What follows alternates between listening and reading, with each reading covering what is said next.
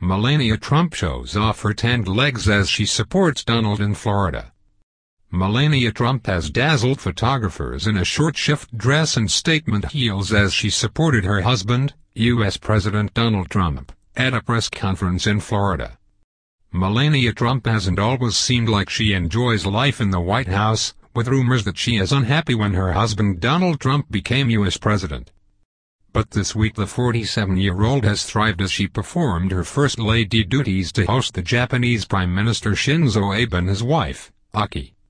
The former model has been playing hostess, taking her Japanese counterpart on tours of some of Florida's tourist destinations and most beautiful homes. Most recently, she stepped out to support her husband at a joint press conference in Palm Beach, Florida. As often is the case, the glamorous mother of one stole the show with her chic fashion choices. Melania thrilled photographers in a sleeveless off-white shift dress. It was adorned with a sequin trim along the top and bottom of the piece. The fairly simple dress, by Melania standards, was perfectly offset with a gorgeous pair of statement heels glittery peach-colored Louboutins. She made sure they were showed off with a deep tan, which stood out against the light-colored dress. Her hair was kept simple, falling in soft waves over her shoulders.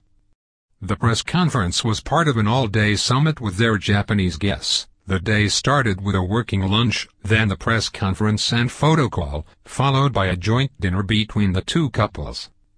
The event took place at the President's Mar-a-Lago Hotel and Country Club. The palatial home, complete with opulent decor and gold-plated fittings, is sure to have impressed the Japanese Prime Minister.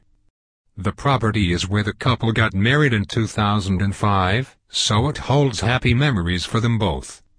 The latest photo call came after the presidential couple stepped out with their visitors in front of reporters earlier in the week. Melania stunned photographers in a striped monochrome dress and white stilettos. Donald and his wife took part in a rare public display of affection, holding hands as they walked across the grass with their guests.